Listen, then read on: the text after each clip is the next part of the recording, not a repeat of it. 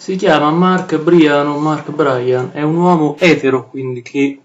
ama le donne, ha questo orientamento intimo. E pensate che costui indossa tacchi a spillo ma anche goni in ufficio, non utilizza i pantaloni facendo sapere che circa la metà infatti del suo armadio è formato da un abbigliamento femminile,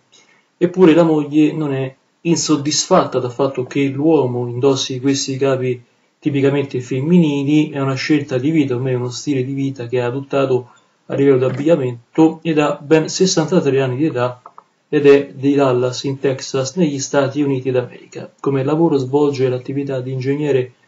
di robotica, ha indossato 5 anni fa gone e tacchi alti per recarsi in ufficio,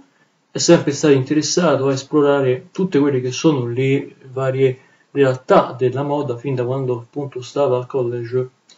e poi alla fine ha scelto di adottare un meglio di indossare scarpe da donna e parlo appunto alludo mi riferisco quindi a tacchi a spillo e gonne o comunque abiti piuttosto